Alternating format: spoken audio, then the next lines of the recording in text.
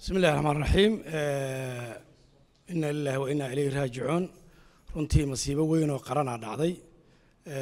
Waa ogtihiin oo sooba two ayaa shala dhacday. Intii ku dhimata allah naxariisto intii ku dhaawacmantana allah noo caafiyo. Waxaan xalay ilaa shala galabtii ku howlanaynay sidii dhaawacii loo loo geyn lahaa meelihii caafimaadka goobihii caafimaadka. Sidii dhismayaashii burburay looga soo saari lahaa dadkii ku dhaawacmay ama ku jiray iyo kuwii ku dhintay oo ku naf waayay ilaahay ha u naxariisto runtii ilaa xala saqdii dhexoo madaxweynaha jamhuuriyadda uu tegey goobtii oo annaguna aan la soconnay waxaan ilaahay ka rajahaynaa in uu ilaahay hawsha noo fududeeyo.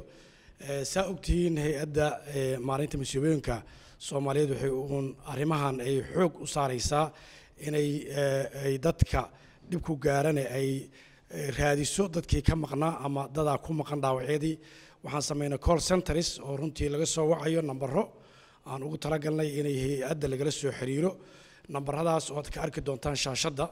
Waxaan rabnaa in la soo xiriiro dadka tiimkan gadaashiida fadhiya waa tiimkii ka shaqaynaya volunteerka ahaa. Waxaa kaloon diyaarinay dhiig oo runtii looga baahan yahay isbitaallada tiim volunteer ha joogo waxaan rabnaa in nagula soo biiro oo arrinta dhiigu aad uu noogu yaryahay qofkii dhiig hayso oo dhiig shubaysa ha nagula soo biiro. Waxaan rabnaa in nala kaalmeeyo oo cid allaale ciddii arrintaa nagu kaalmay karto ay nagu kaalmayso. Runtii waxaan rabnaa culummadii soomaaliyeed inay arrinta u soo baxaan.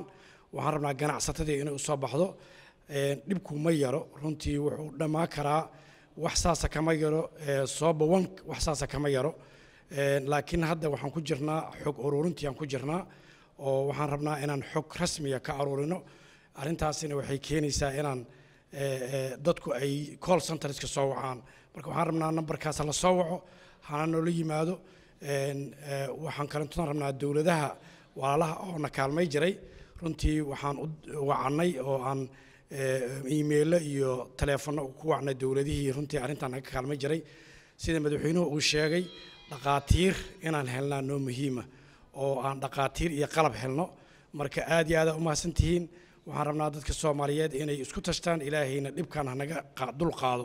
Runtii cadowgaanu ummadda soomaaliyeed waa halakeeyey marka dhinac ha loogu jeesto ummaddaana ummad shaqaysato dalkeeda waxu qabsan karta inaan naqano waxay xiran tahay inaan cadowga isku dul qaadno aada umahadsantihiin